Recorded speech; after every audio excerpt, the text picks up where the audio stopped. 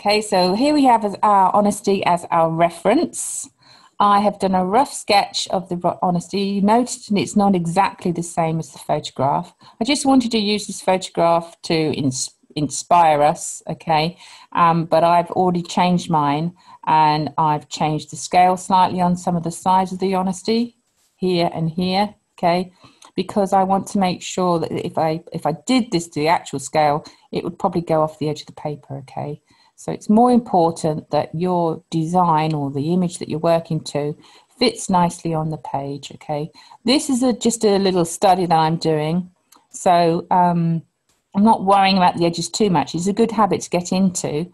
But if I did want to produce this as a painting, this space, I'm only to just over a centimetre at the top here, so this is this um, honesty at the top is already in danger of being too near the top. Okay, so ideally, I would probably make I could make that a bit smaller, or as a, you know, say if it was a painting, because you'd probably want to put a window mount around it, and that's clipping it very close. So it's just something to bear in mind when you're doing studies or you're thinking about uh, doing work that you want to be able to put into a frame.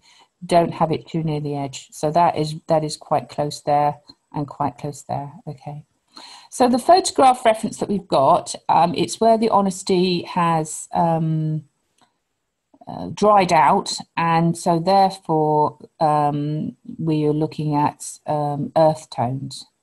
But I thought it would be much more fun um, to try out something different.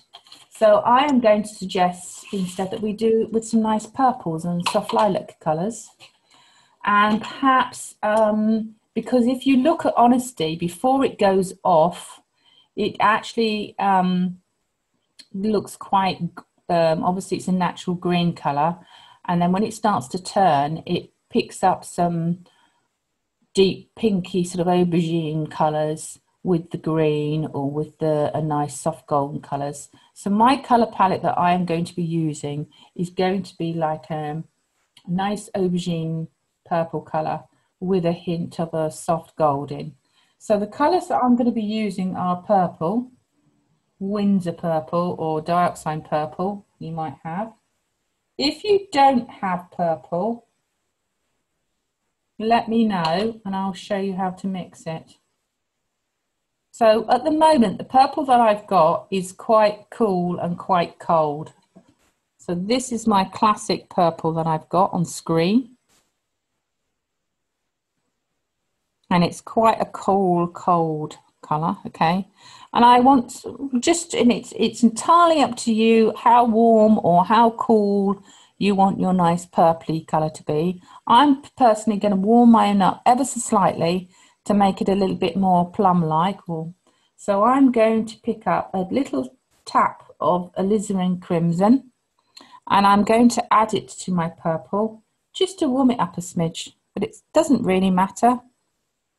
Okay, so now I've warmed my purple up ever so slightly. So once you've got your aubergine colour, the next colour I'm going to be using is a yellow ochre. And then we'll also be using a lead pencil. So the yellow, the yellow ochre again on the colour that we've got is quite bright. So this is my yellow ochre. And we will be softening this slightly. But at the moment, just for the market, we've just got to have it on the right hand. So on the left hand side, I've got my purple and on the right hand side I've got my yellow ochre. So I'm going to start painting now. If you look at the study of the honesties, they're quite soft, quite muted in the way that they um, the colours work. They've got some quite soft muted colours and muted shapes. So in order to get this really soft effect of lights going into darks and, and keep it all soft and light, we're going to do um, use a, a, a glaze. So if you want to, if you want to create soft misty effects with watercolour, the idea is to wet the area first with water and then you drop the colour in. Okay, and this is how you can get really nice soft effects. So here I am, and I am just painting the entire area of the honesty in water and I'm just delicately going around the edge. Make sure you've got a, a really nice crisp edge to your honesty. And there's a circle there for the seed head. You don't. You can go straight over that. You don't need to worry about that because the seed is a darker, um, darker shape. You don't need to worry about missing that out. Okay. So I've just glazed that entire area with water and it's got a shine to it. And I don't, I want to make sure it's just, it's just glistening. Okay. So, and if there's an extra puddle, I can just lift it out. And then I'm going to scoop up some colour. So I'm now scooping up the lilac colour, the purple colour that I've got. And I'm just going to tap it in around the edges. And it's going to run down and go and keep to the edges for me. So I'm, I'm trying not to, I'm, I'm deliberately working to the, to the edges because I want all of these nice soft edges. There we go. And it makes a really nice pretty effect. I'll just tap a little bit more in the corner there.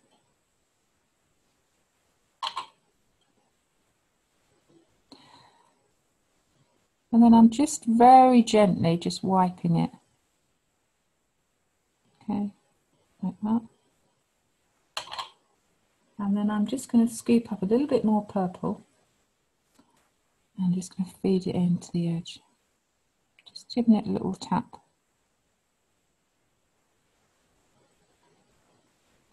Now you can do this as much or as little as you want to. I'm just going around the edges at the moment you don't have to worry too much about trying to copy the um, photographic reference. My goal was to just introduce the colour around the edge and to have it slightly lighter or, or have virtually no colour in the centre.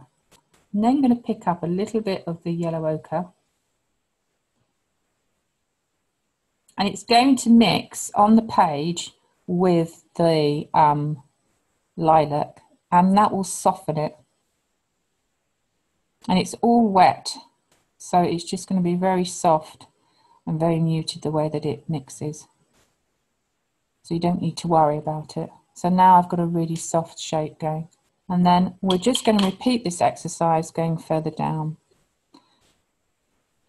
So again just go glaze with water and it's up to you. You could decide well actually for this one I'm going to have it more um, more purple less purple bit more gold in this one perhaps. Okay, so we're going to do it in a fairly sort of random fashion.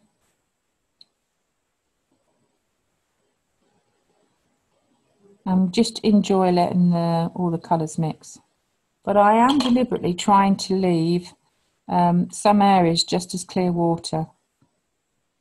And this is a great way of, of practicing your wet in wet techniques just by dropping in um, dropping in the color so right so we can and you can just see it develop and decide yes I like that or no I don't. So here I've just done an initial glaze and I've decided oh, I want to improve that shape a bit and just pump up the color a little bit.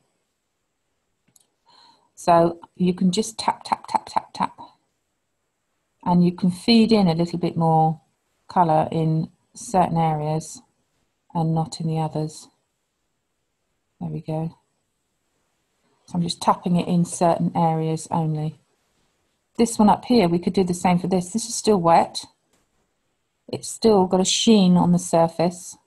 So if you decide, oh, I quite fancy a little bit of extra purple in that bit there. Okay, you can just tap it around the edges and it's going to bleed and soften around the edge just by just tapping it. So you're, you're feeding the reservoir of colour. Equally, if you decide, you know what, I would like to have some highlight. This is still soft, this glaze, so I can get a soft halo. So I can wipe this out, look, slowly. And I can wipe it out again, really traveling slowly like a snail. Okay, and I'm just lifting out ever so slowly, dragging it down. And because this is um, wet, um, hasn't fully dried yet, so this is a clean damp brush. I've used my um, flannel to wipe it dry and I can wipe out if I want to highlight and decide, you know what, I want to keep it light in the middle. Okay, just give it a little wiggle. There we go. So this one looks quite dark down here, so I'll just pull that down, leave that as it is. Okay. And then this one, just again. So as you're going around with your honesty, slightly change the colour. Make it slightly warmer, make it slightly cooler, you know, different consistencies. You'll find it much easier to get these nice, soft, muted colours if you pre-wet the area first with water. So I'm jumping over to this side now. Glazing again, just with water.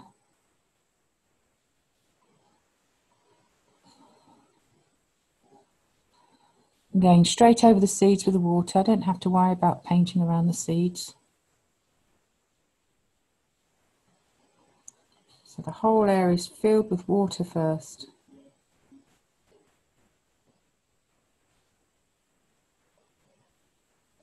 I can spend my time making sure I've got it to the edge that I want. So I can see the sheen on it. Okay. And then I can scoop up my colour and say, right, I want to have some colour around this edge here. Thank you. There we go. Now it's starting to run for me. And this is what you want. We wanted to do that. Because you can get some really quite interesting patterns. Um, I'm going to do a bit more around this side. And it's just, just running and just doing its own thing. Okay, and I'm not going to put any anything. I'm just going to let it run. I'm not to just let it settle. Don't worry about it. And then I might pick up just a little bit more colour. So I'm now picking up some yellow ochre. Need to mix that a little bit more and it'll, as I say, it'll soften because we so, because the purple's in there, all that soft sort of aubergine colour. Because this yellow ochre is almost immediately going more of a softer golden brown colour, where it's mixing. Just as, so it, it gives that little hint of it changing.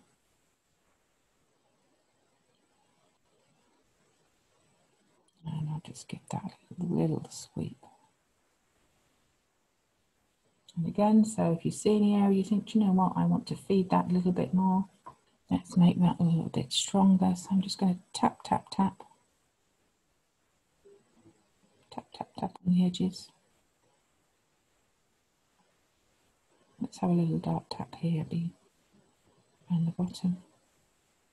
And because it's all wet, it's all diffusing on the page.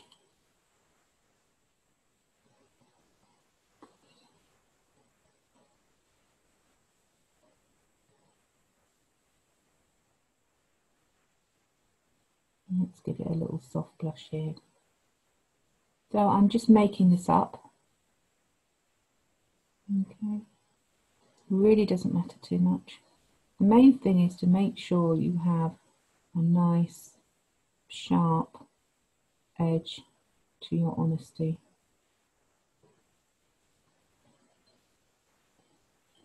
There we go. So this one here, we're going to have let's have this one quite pale.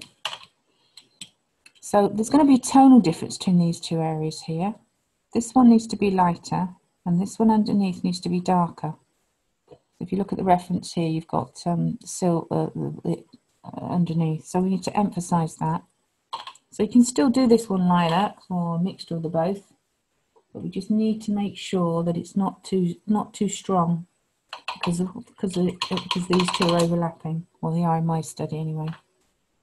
So I'm just repeating the same procedure. So glazing with water just as before.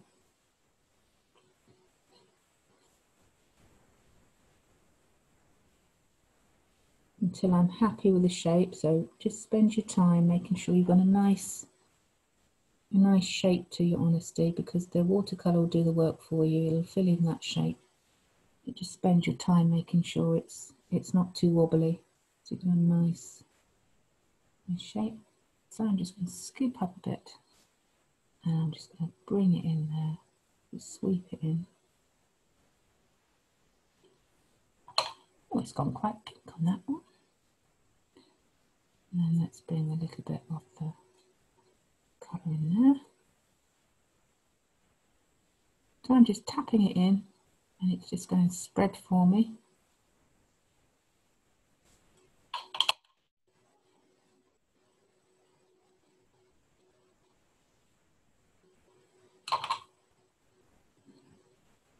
And just softening that edge. That stays nice. I might pull it back a little bit actually. Give it a little tap. So let's just do a little swipe here. So I want to make sure that it's it, that's at an angle. So I'm dragging it very slowly like a snail.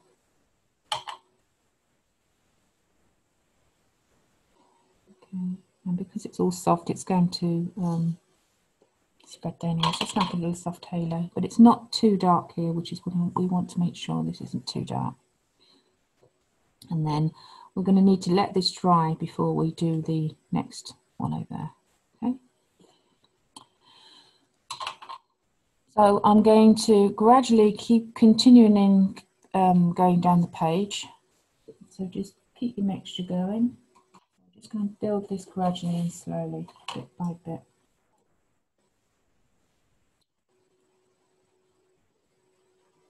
So here we are here. So you can look when you're looking at your the photo reference that I've that I've emailed to you. You could, I suppose, if you wanted to, look at look at the way the light's catching on it as a guide to how you can fill in your shapes. But as I say, it, it doesn't matter too much. Just enjoy filling them in.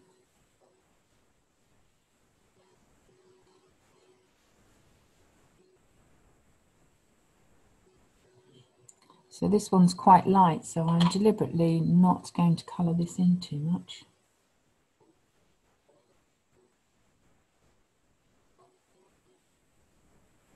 So I'm just tapping the colour around. And then I'm going to change again to the purple around the edge.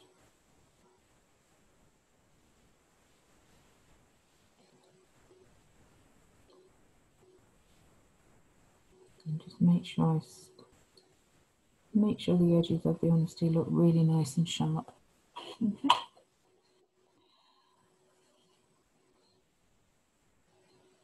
So um, you can let this run and settle in the way that it's going, or if you decide, do you know what, I want a bit more halo around there.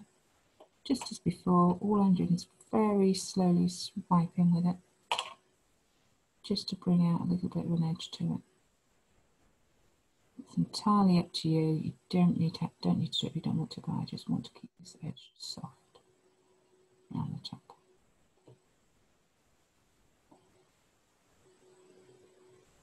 So now over here, this one here is now, the sheen has gone. Um, it's gone matte now, so that means it's safe for us to paint this honesty over here.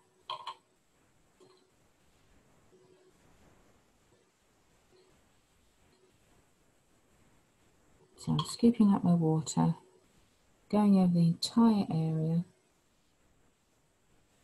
filling it in, pulling it round to get a shape that I'm nice and happy with. Nice soft shape.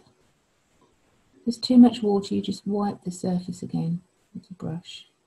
So you've got it nice and shiny and that will really help things soften and blend the way you want them to because we've pre-wetted it with water.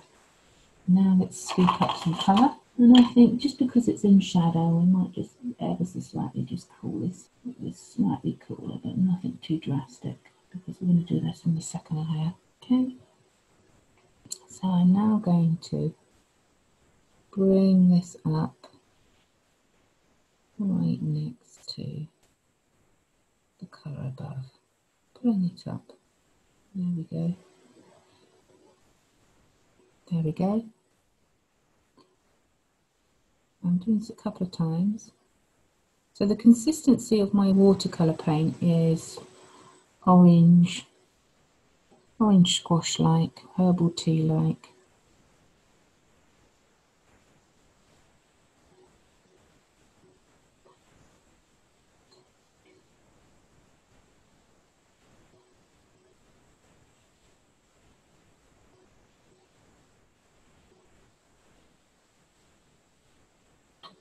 Well, this one's fairly flat in colour, but um, it's entirely up to you how much you want to do it. I think I'll probably still have it uneven.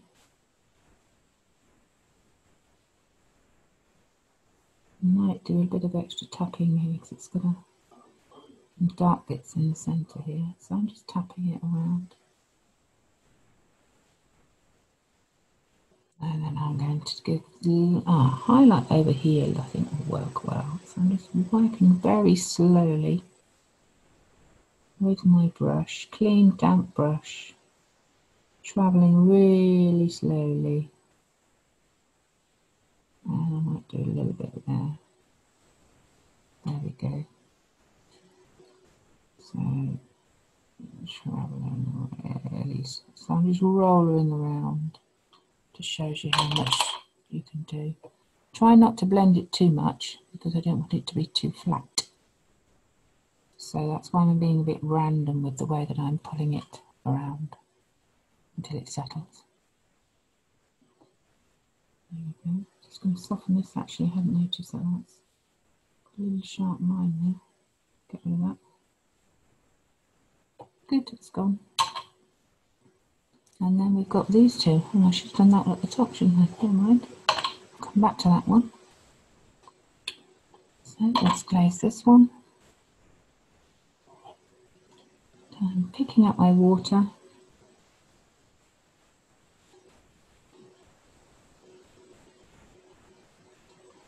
Oh, there nice sweet round. I've got the shape that I'm happy with. There we go. And what should we do with this one? I know, let's make it more golden on the top. My yellow ochre is going more terracotta-ish because it's um, been contaminated by the um, by the purple. I'm just snazzing it up a little bit and then I'm going to scoop up my lilac and put that on the other side. Like that.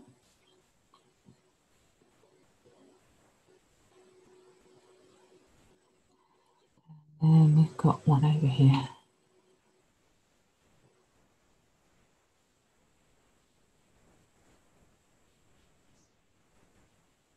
What colour should we do that one? I think we'll do a little bit of both for this one as well.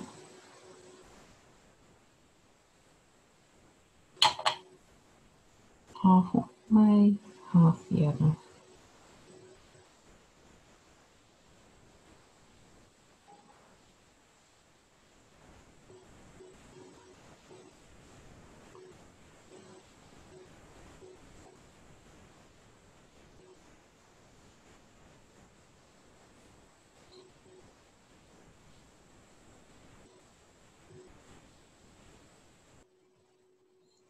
Just do a little bit of highlight on that edge there.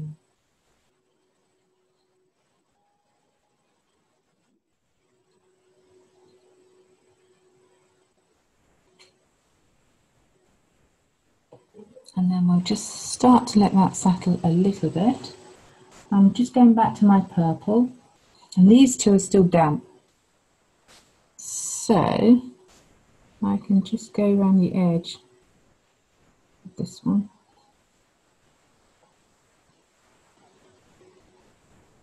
And just tapping it and it's beginning to draw sharp edge. Oh, yeah, that one needs a sharp edge there.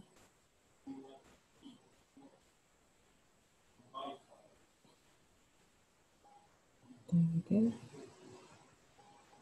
Don't do too much because we're going to do a bit more with a pencil around. I know I've got a I've got a very sharp brush with a lovely point so this is easy for me to do with my paintbrush but I appreciate that might be difficult for some of you if you don't have if your paintbrush doesn't have a really good point to it. So I'm tapping in some stronger colour at the bottom of this honesty because I want to and a little bit at the top so I want to give it some more, more movement. Nice colour. So it's all very random. It's just a great way of, of, of watching what happens when you wet the area first with water and then drop in the colour. Now, once this is starting, now this is beginning to settle and beginning to dry, you may decide on some of them, you know, perhaps uh, you may decide, oh, oh, I've got one that's really dark and the others don't, the others are too light, or I want to manipulate the colour a little bit. As long as you let the shapes get bone dry, there is nothing to stop you putting a second layer on over the top. If there are particular areas where you think you just want to boost that a little bit or sharpen it up a little bit, okay? So now that this is dry, just about, I'm going just going to glaze this one up the top because that's the last one that I haven't done. Okay. And then once we've done that, I'm going to show you how we can um, start to sharpen up and get some more information in on our my study. Okay. So here we are. I'm going right up to the top now.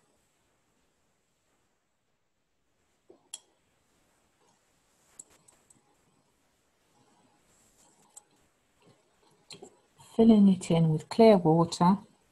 And I think I'm going to try and make sure I don't put my head in the camera because I think I just did that then.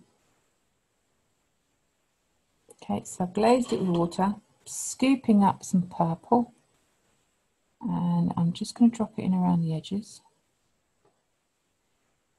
Just watch it run. It's quite fun to see it run a bit.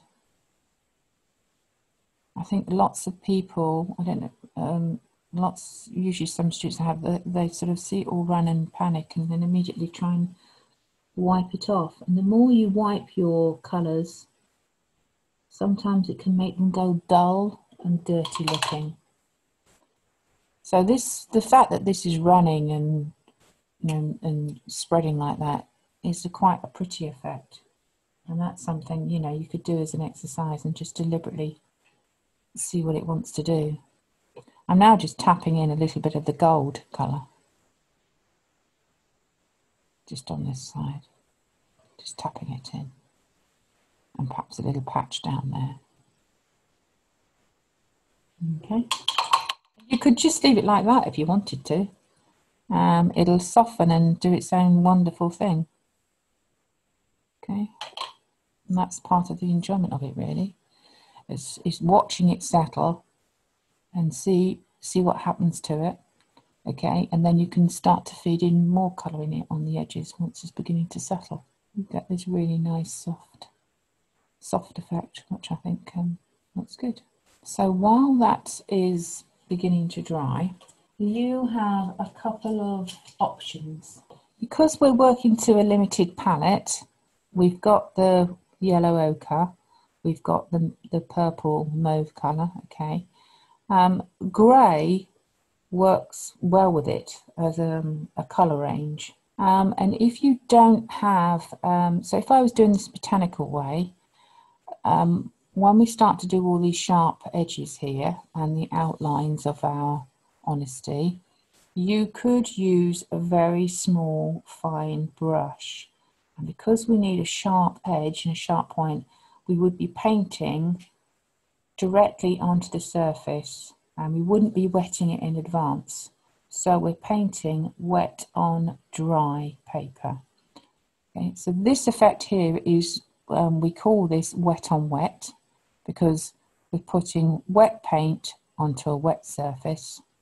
Whereas now we want to have sharp edges, so we're putting wet onto a dry surface. Okay, so that's that's the, one of the difference you can describe.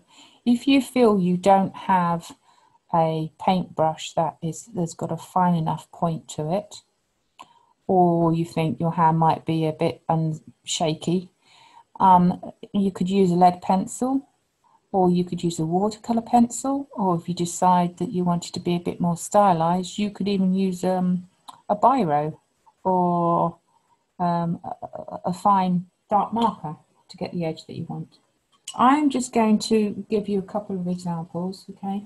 Um, you can try it out first just by picking up your, your pencil and say, right, okay, I'm going to pull this bit down.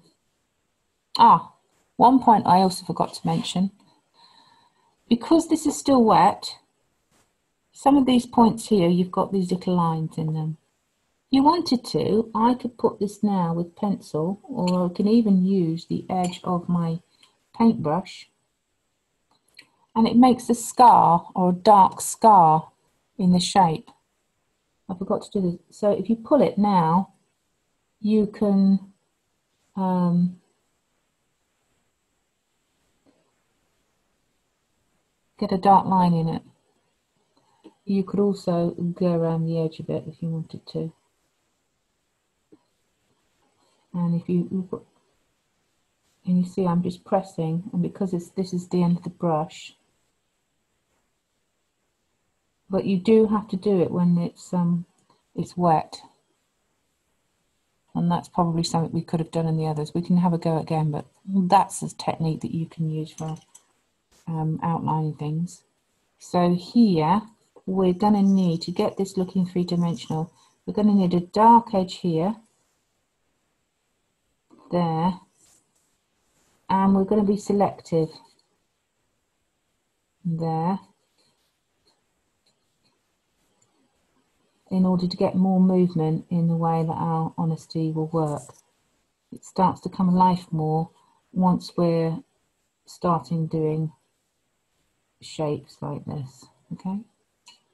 I am going to pick up my sharp brush so I'm going to go down inside a brush that I've got with a nice point to it. And I'm just going to pick up some purple.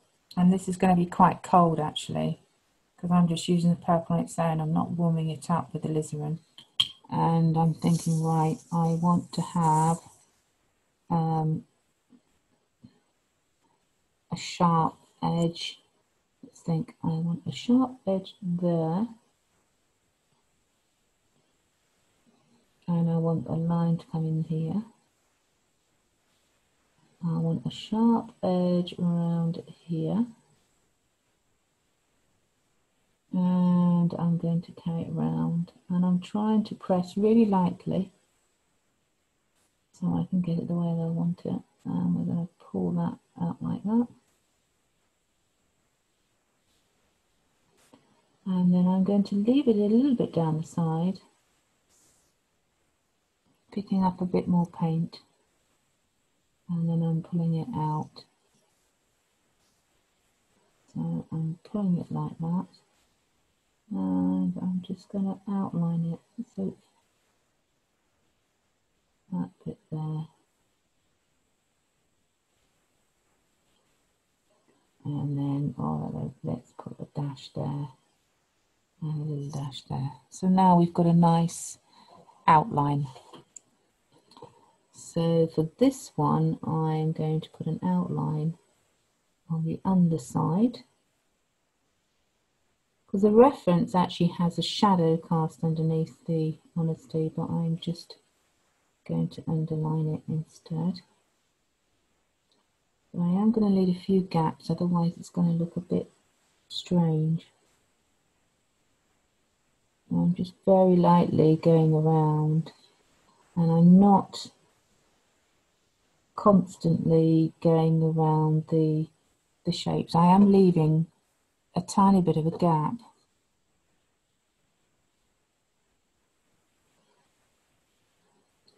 I'm trying to make it a bit more visually interesting.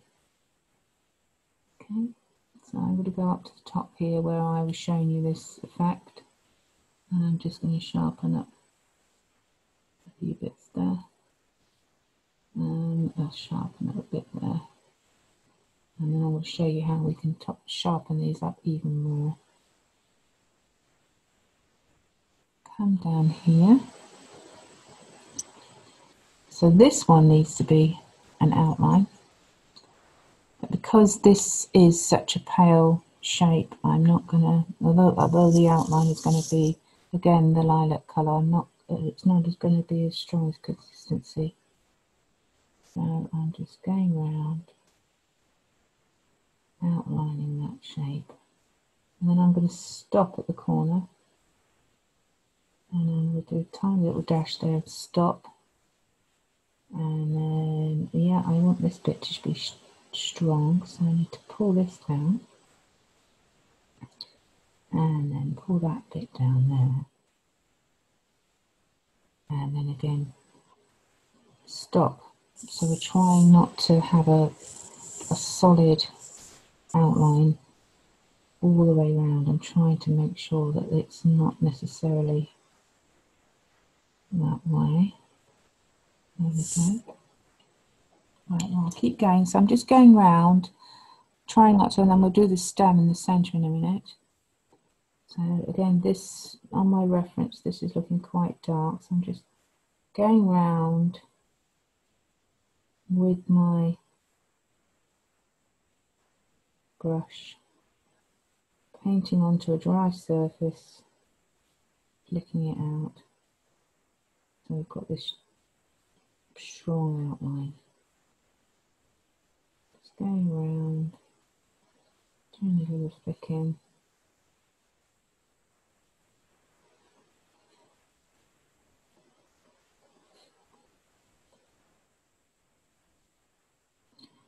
So by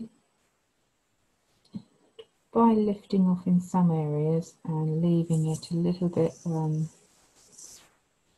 uh, unpainted, you're you're uh, making the shape more interesting. You're not killing it so much. So this is because I've painted hard, dark on this side.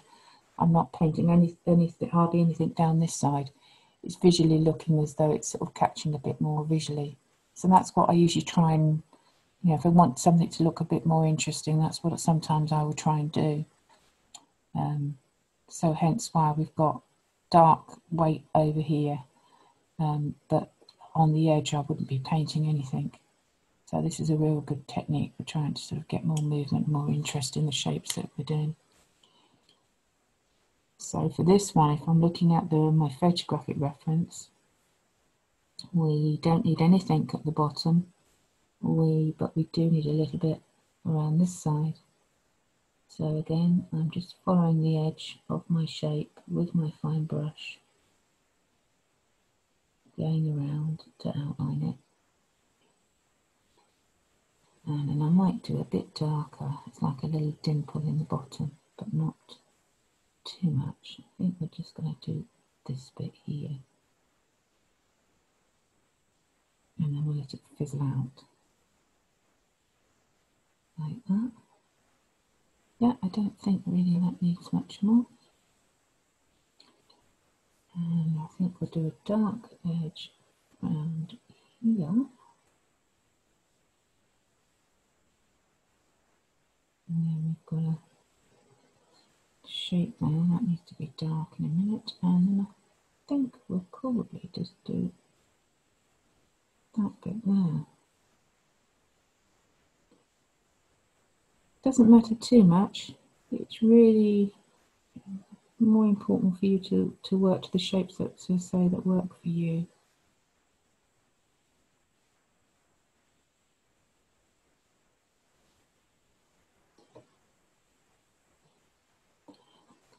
do a little bit more on that one.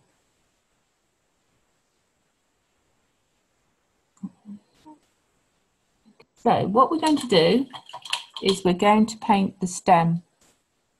But you will find it much easier if you're going to paint stems and, and lines. You're going to find it much easier to paint horizontally. It's much more easy for you to do this. Whereas because I'm keeping this, I've got to do it more upright. So it's more, I'm, I'm doing it the more difficult way. So I'd recommend that you, you do it horizontally. Okay. So I am going to pick up with some water. I'm going to do a little bit of wet on wet. If you wet your paper first with a little bit of water and follow your stem shape with water, so I'm doing it with my fine brush. Because we've, we've, we've, we've done this little line, can you see it's raised? I don't know if you can see that. I've just, I'm literally picking up quite a lot of water. I'm literally drawing with water and I'm just gradually dragging my hand down. And then we're going to drop in the colour and by doing it this way, the watercolour is going to do the job for us. It's going to travel straight into this water that I'm just painting. And because I've painted it with water, it's dropping down, I've got a really lovely edge to my um, stem. Okay and it's not it's not too wobbly okay? And that's the great advantage of doing a stem like this sometimes is because you know as soon as you pick up the color so here we go let's pick up this color so I'm starting with yellow ochre at the top. And if I just touch it at the top okay there we go it's it's it's traveling for me look I can just tap it in and this is where it's advantageous to have your work. There you go, look, I'm just tapping it.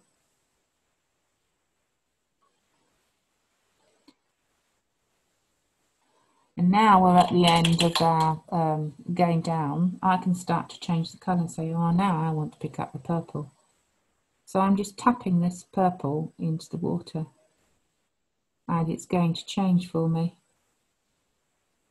Just flick it down, hang on, scoop up more. There we go. So I'm just painting in the area where the water was. And it's spreading and running for me. So I'm getting this really nice edge that's not too wobbly. There we go. I'm now really feeding more purple into it. Uh, let's have some more up here. There we go. Let's have a blob of purple in there. There we go. And I can do a little little flick of a stump there. And we've got oh yeah we've got um, something happening around here. So I am just going to flick it up like that. And let it disappear. Okay that's so that's paint this bit area here with water. Scoop up.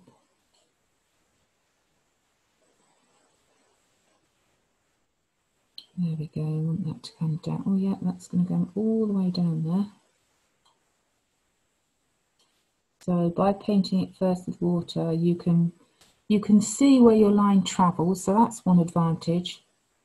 You can see where where you want the the stem to go or the branch to go because it's got that sheen to it and it's an I think I feel it's an easier line for you to follow because I just tapped it look and it's it's it's running in for me so potentially you could tap loads of colours in there if you wanted to if you wanted to make you know I'm going to tap some yellow in at the top well, I'm just tapping it. Tap, tap, tap. There we go. So you get a much really nice, really nice little twiggy edge. I think I think you might find that method or that way of, of painting twigs and stems. Hopefully you find it as, as an easy way. So now I'm going to come down here and I'm going to do, oh yeah, there's a stem there. So picking up my brush, I'm going to drag my water down.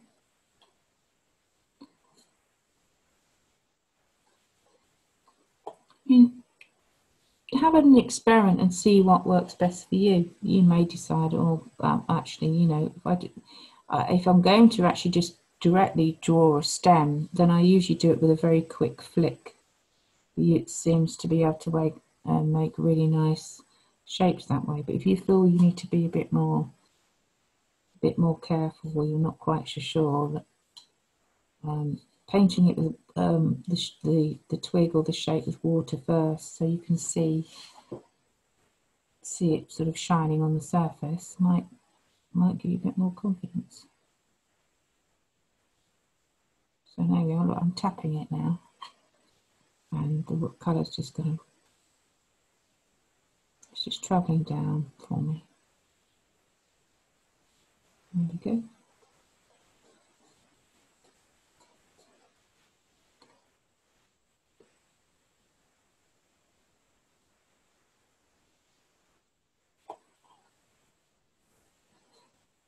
Um, oh, there you go. Look, really tapping strong there. Nice. Now it's weighted. That's what we want. And by tapping this really dark, it's now pushing that one forward, which is what we want. Okay, and we're going to do a little bit of, um, we're going to paint in the, the seeds, some of the seeds next, and then we'll probably finish off by putting in a slightly more um, strong layer into some of the honesty areas if you want to.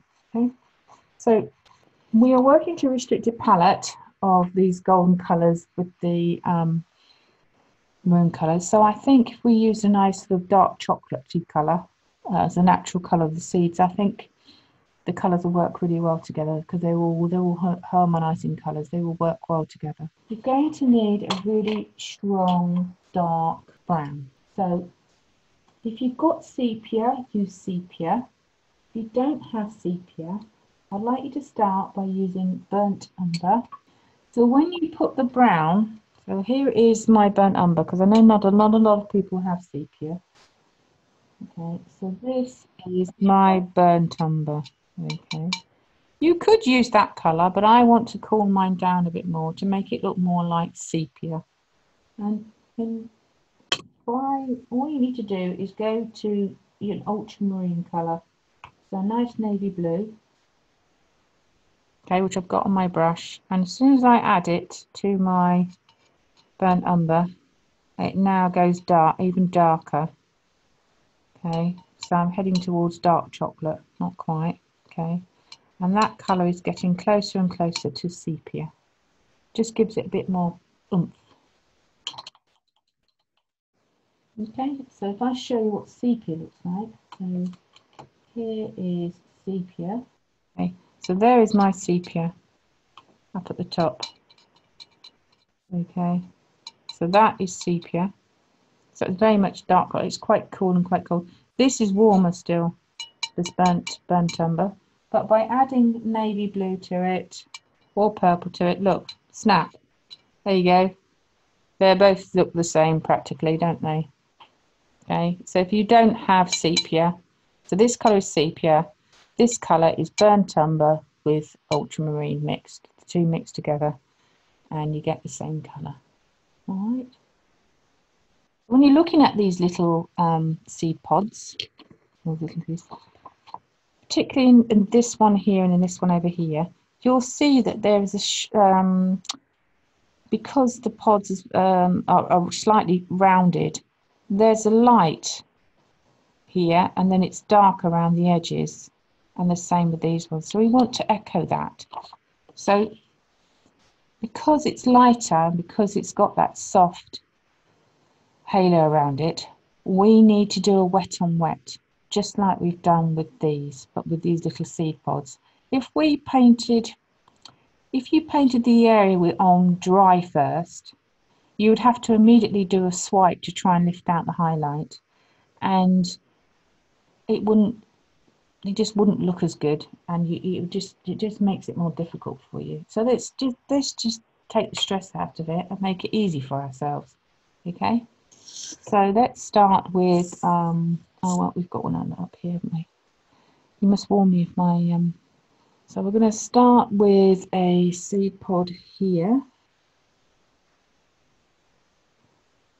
so I'm just wetting the whole area with water and I'm just going to pick up a small brush with the sepia colour and I'm going to paint around the edge of the shape. I'm just going to go around the edge. So I'm not going to put any paint in the centre of our water bubble. You can tap it in if you want to. Okay. It'll start to go and spread to the centre. Okay, so there is my shape of my seed. And now I'm going to make it a little bit stronger.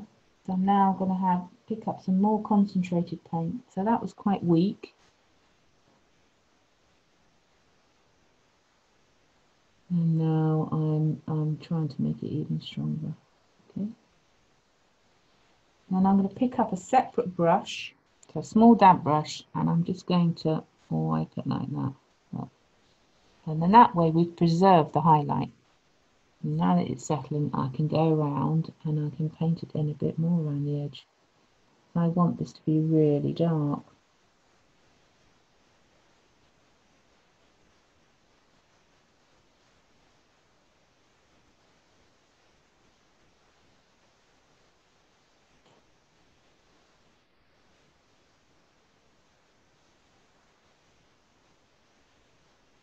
So really strong consistency around the edge.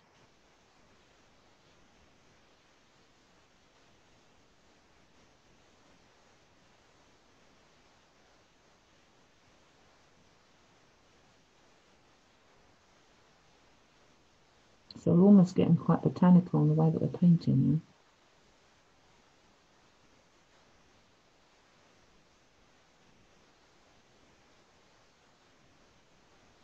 There we go. So now I have a seed with a halo or a lighter area in the centre.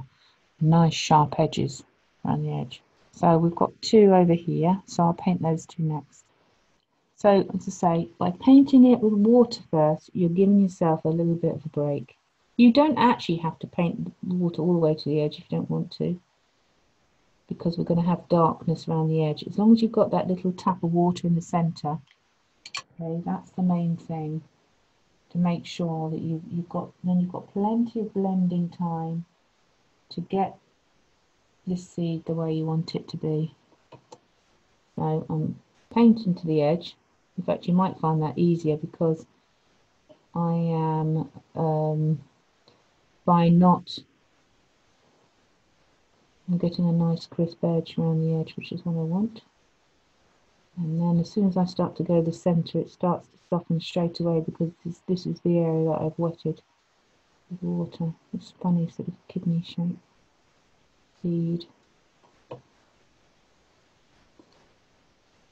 So again, I'm just pulling the paint in and by because I've softened that area with um, water first, it just gives me that extra blending time to, to um, manipulate the shape until it's the way that I want it to be. This needs to be a bit better. There we go. And I don't need that halo quite so light, so if I just move it around like that, look, no, that halo's not quite so, not quite so, so, so light. It's more natural looking. Again with this one, I'm just going to tap in a little bit with water just to give me a bit of a head start. Scoop up my colour and paint my edges.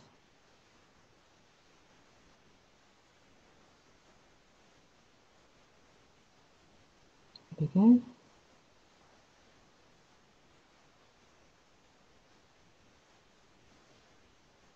Just picking up some more paint.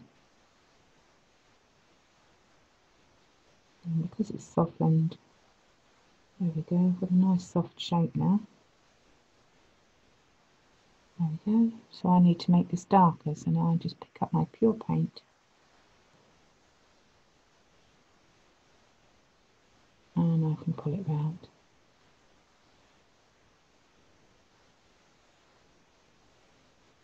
And that's little tap in there. There we go. And then we've got another one down here.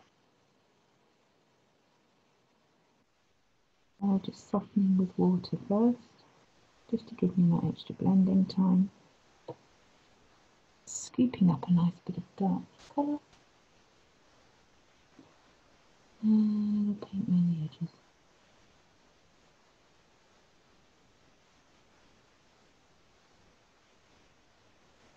It's quite dry around the edges.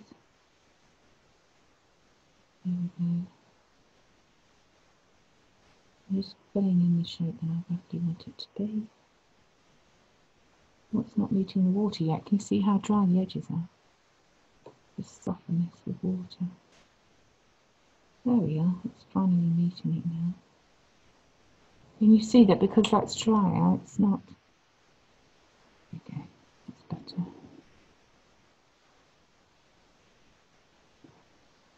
There we are. Let's get in the shape that we want it to be.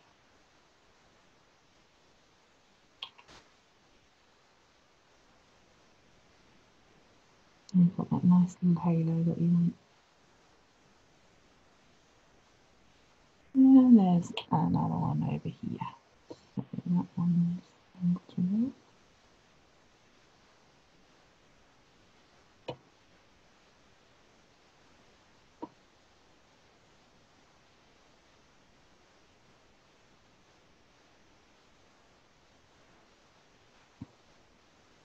So if you were doing this as an exercise and you wanted to introduce even more colour, you could, I suppose you could, um, entirely up to you. You could have pure navy blue in some areas or purple. So you're just sort of tweaking the colours slightly, but you it's still natural looking. I'm just scooping up more colour now and I'm just tapping it in.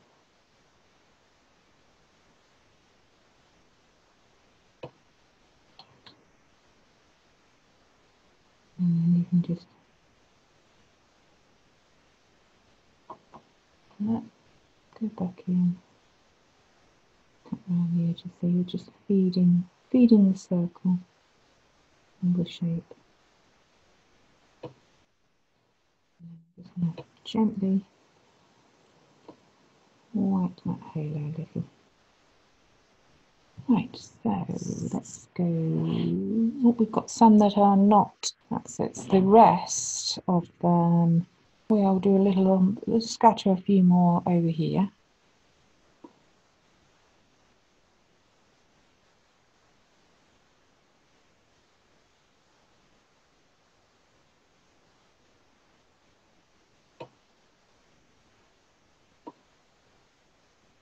That's better make it a little darker.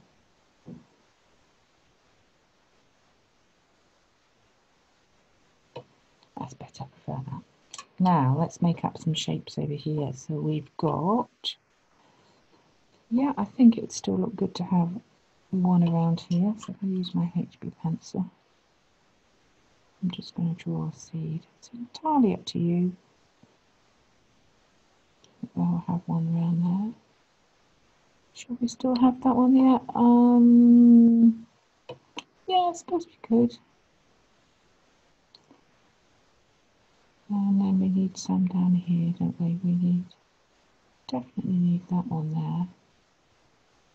So when you're doing these seed heads, try and, because they are a dominant um, dot in your um, arrangement, try and visually look at the scattering and the spacing of these seeds so that um,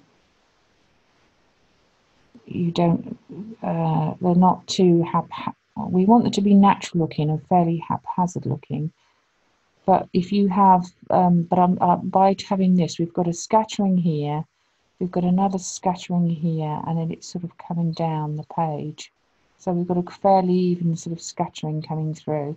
So it might make sense if I was looking at this. I've got a cluster here. This I'm going to have to be a bit careful with because I've got a straight line, dot, dot, dot, which is on the photograph, but I think arrangement-wise, this is a bit dangerous because it's making a line. I think it's probably going to be better if we put it up here, just slightly out there. I think it's going to be better if we just lift it up a little or we have it as an extra one so it doesn't look like a line. You see what I mean? So even though that's in the photographic reference, I think if I put that in, it's a bit of a plonk, plonk, plonk. Whereas just by moving it, or even moving it here, so it's behind the stem here, for me anyway, for my arrangement, I think if either I don't put it in at all, or it's going to be better there. Do you see my reasoning? And then this one here we think yeah that's fine. And then we've got this one over here that's okay. And then this one and then well do we want one down here? Or perhaps that's enough. So we could have one on this one here. So we say right okay. Do we want to have one at the top? Or do we want to have one here? Because it's leaning that way in that direction I'm quite tempted to say, well, I think it might work quite nicely to have it there. It doesn't really matter too much. But by doing it that, we've, we've got a little balance of scattering going up and down through the, through the arrangement. So just bear that in mind whenever you're doing designs like this. Don't be afraid to move things around just slightly so that this arrangement is stronger rather than faith slavishly copying something that perhaps has a slightly ugly arrangement or slightly in, isn't scattered the way you want it to be. Because this is this is what botanical artists do all the time you know or I, I you know the amount of times I've tried to um, photograph plants and study flowers and you know I've, I've looked at something and thought oh if only the head was just slightly tilted at a different angle or I really like the angle of the head, but now I've got a really ugly foreshortening angle of the leaves. So um, arrangements do get manipulated, believe me, they, they, you know, very rare that you, you know, you take a photograph of a plant and, and, the, and the arrangement of the flower head and the leaves is all perfect. It's quite often tweaked or, you know, the flower's taken from the angle, but the leaves have been manipulated or, or changed to make the arrangement more pleasing to the eye. Very much botanical thing that's done. Not enough water in this one, so I'm just going to put some water in it now.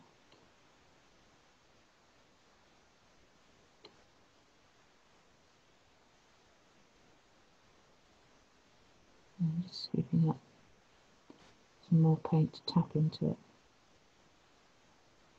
But yeah, you get much better blending if you pre-wet it with water. I just didn't put enough in. But now I've, I've solved it anyway. So there you go. You're getting a much nicer balance of scattering coming down through the through the arrangement. I'm just going to lift a halo out. So it's a clean damp brush to get the halo or the slight um, lighter area. Okay, there we go. Just tapping in a little bit more colour around the edge. There we go. Happy with that. So that's beginning to scatter down nicely. So now we just need to do these ones down here. So going to glaze this one with water. I think it's because my brush is quite small. It's um, it's not picking enough water. So this one's a bit more difficult. In fact, I've got to remember that the seed's underneath the stem. So I have put water in on the left-hand side and the right-hand side of the stem, but not in the stem. So that's what you need to remember. Otherwise, you're going to lose your outline of your stem. So I've softened it with water to get that side. And I've softened it with water to get the other side and now I just need to work at getting a nice edge. There we go. And then continue it on the other side. Now we're gonna have to have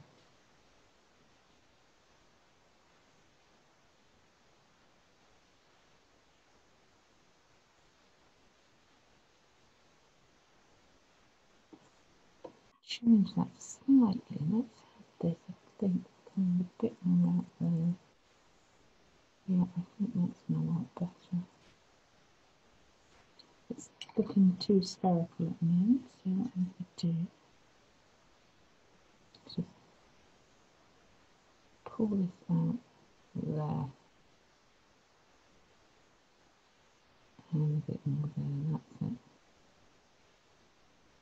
There we go.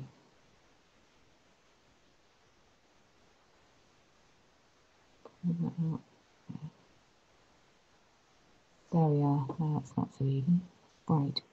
So down here. So this one wetting with water, wetting this one with water, and this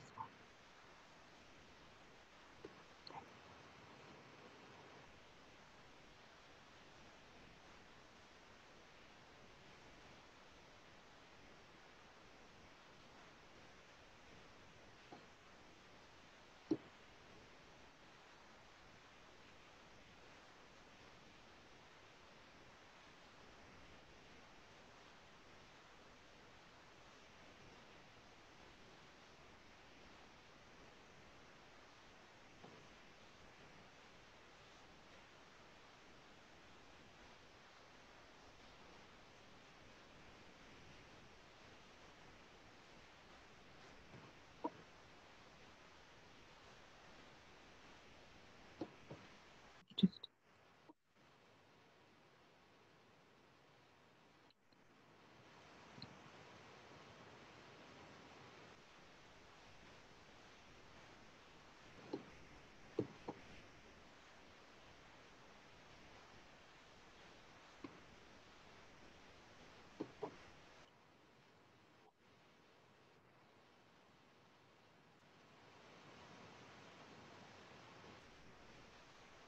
I'm just tickling the edges just to make sure I get a halo effect. So looking at that, we've got quite a nice little scattering. I think we could possibly, should we put another one in? We could probably put another one in there.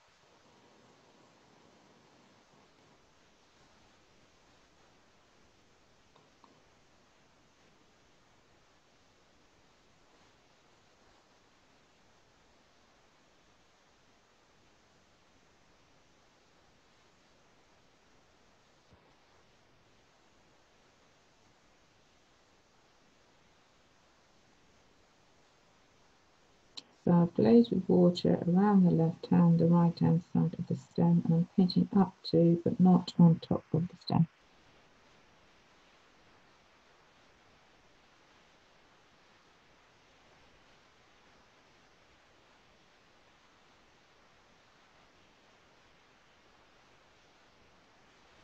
There we go. So looking at the screen, it looks like we've got quite a nice scattering of seeds. I'll just wait a few seconds for that to dry and then we'll do a little bit more sharpening up. So we've got some of these edges to go on here.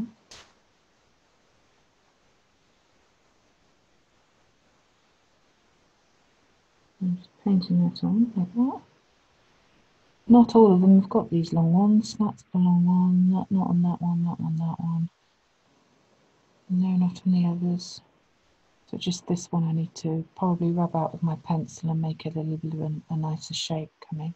So um, I will show you how to um, enhance it a little bit more and put some uh, second layers on, just on a couple of the um, honesty, just in case some of you decide that um, you need a little bit more to boost the colour a little bit more, make it a little bit stronger, okay?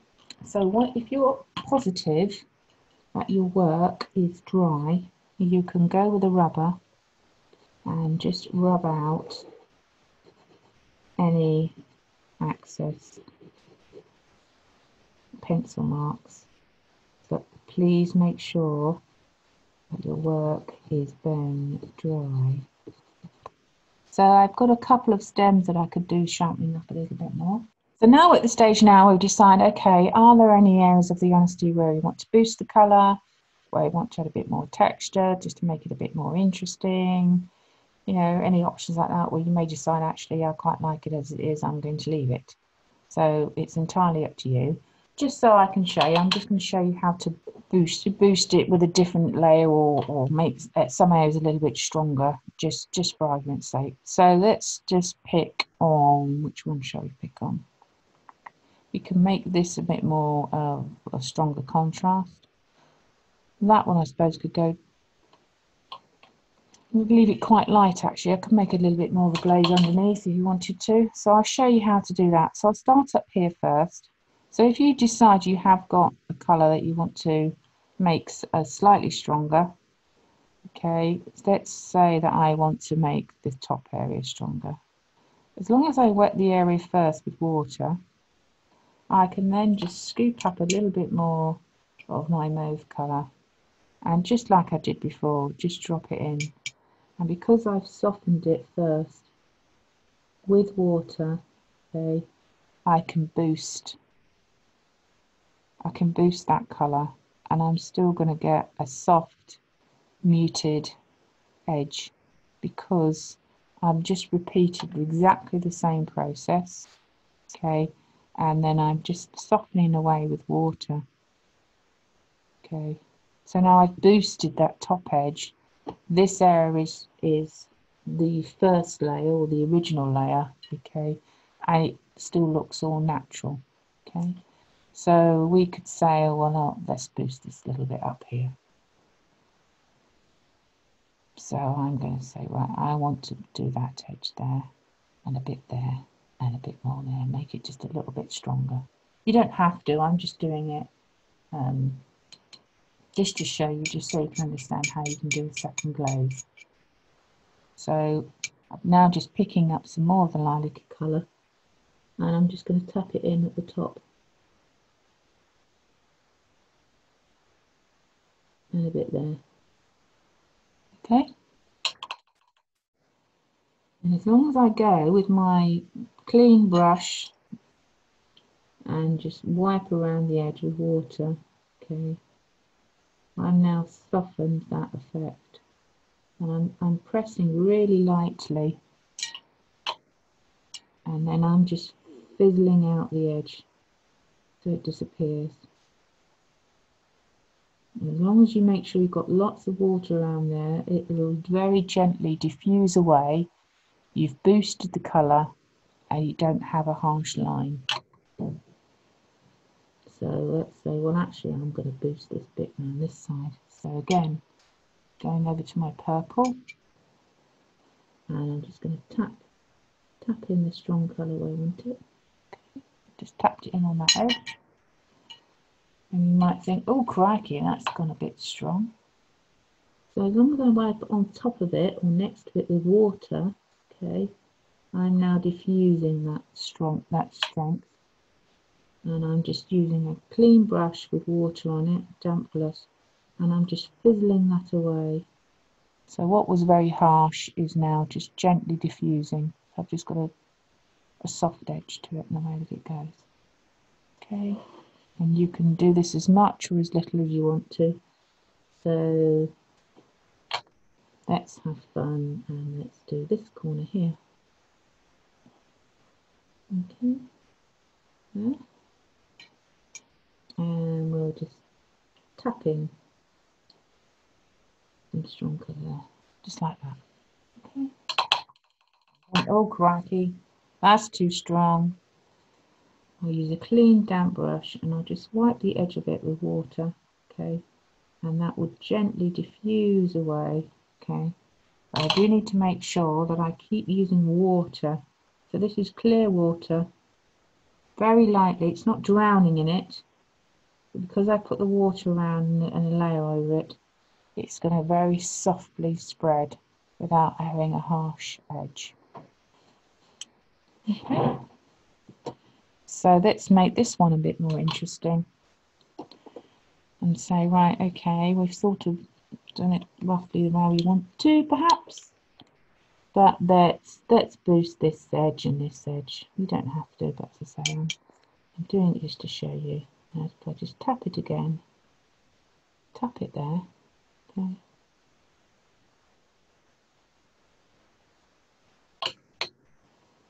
and then I'm just going with water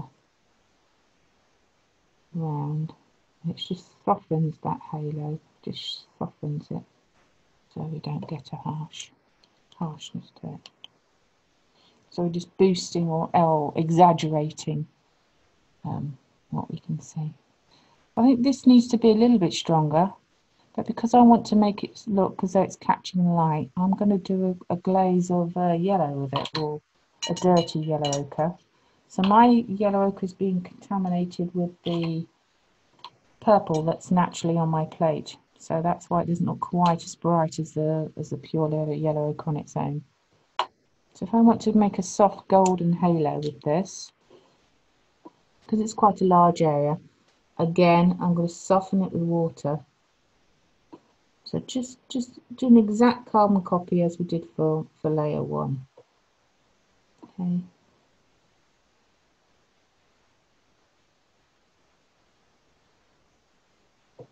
And now I'm going to scoop up my yellow colour. Scooping it up into the top. There we go. Just washing out my brush. And I'm just wiping it with water. So now we've got a more of a golden blush to that honesty. Okay, and it's making it more golden and lifting it all up. So say, okay, well let's let's let's uh, that's looking quite golden. Where else could we put this nice golden? Uh, we could put a little bit up here and perhaps a little bit here just to balance it out. Or alternatively, you could say, well, that's too strong, we'll work a bit out. It's entirely up to you. Because we've got this softness to it, it it's going to let us get away with it. So I'm going to boost a bit more up here and say, I, I, I like this yellow ochre, going to make this more golden. Oh, look at that, doesn't that look pretty? Oh yeah, I like that. Now I'm going to fizzle that edge away with water, clean water. Okay. So now we've got a nice golden glaze or honesty, but we can still see this lovely purpley colours. So let's do another little golden halo. I like this gold and I'm just picking up the yellow ochre. It's very, just a light little touch, not very strong. It's quite, yellow is quite a strong colour. Look at that look, that makes a really nice glow to it. And then I'm just doing it with water. Yes, look, it's boosting them up even more, isn't it? So let's go over here. This definitely can do with a nice golden glaze on it. So let's go with the yellow ochre. And we've glazed it with water first. So now I can put this nice, soft, golden glaze over my honesty.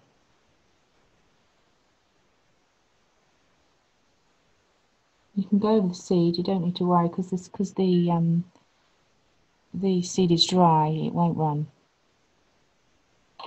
So now we've got more of a golden scattering coming down through and you can you can do it for all of them if you want to or it's entirely up to you. I'll put a little bit more gold just on that corner there. What you do whatever looks best for the arrangement that you have in front of you. Okay, if you don't feel yours yours don't need anything, then don't don't do anything. If you're happy with it as, as um it is as it is.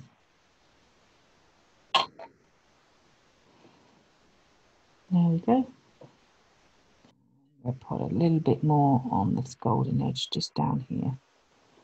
And I think it doesn't really need much more. Might do a little bit more touching up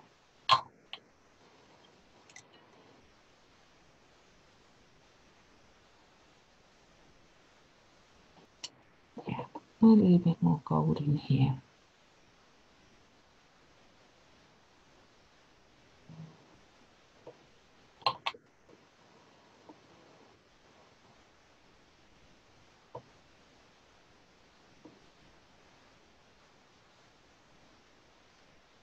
Just gives it everything that really nice warm, warm golden glow to it. Really pretty.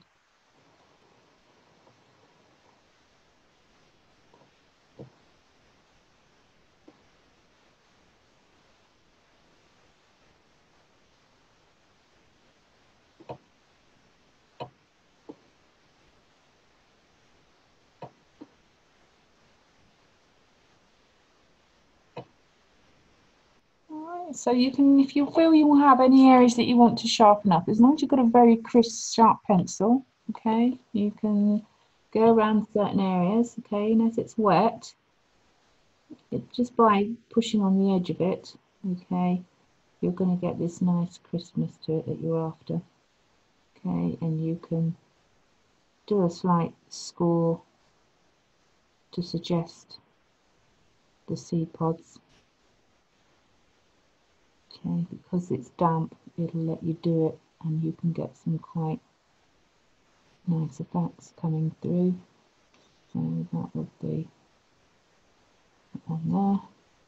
You could even do the same if you wanted to with the seed. Look I'm going around with my pencil if you wanted to. If you feel you can't as I say um, I could go around a bit sharper with my um, brush. But I it, you need if you want to do this really you would be um, you need to make sure that your brush is really really sharp. I know some of you might not have a, a brush that's sharp enough so it's just to crisp crispen the edges up a bit more make it a little bit more perfect. Um, in the way that that goes around. There we go.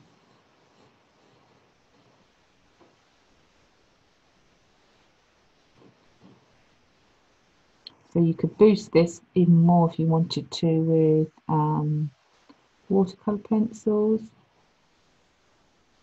Do go around any way you wanted to, remember it goes.